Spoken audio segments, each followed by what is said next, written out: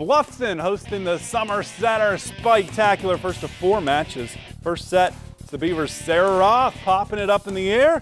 Kendra Parmenter goes over with it and places it perfectly Bluffton the early point. Now a little defense, big swing by Janessa Scott, but St. Mary's grad Jenny Brown celebrating Doug Fry's return with a block of her own. Later on, Heidelberg serving the Beavers bump and set for Parmenter, and she does just what she does with that beautiful play. Bluffton up 7-5. More good play from the home team. Bump to Mackenzie McFarland.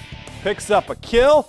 And Mackenzie was just getting started. Van Buren grad Sarah Roth setting McFarland for another one. Bluffton does fall in this set, but they win the next two. So they take the win over Heidelberg 3 to 2, and then they bounce Albion. Albion. So good start for Coach Yarnell's club as they get ready to start a Fellowship of Christian Athletes up at Bluffton.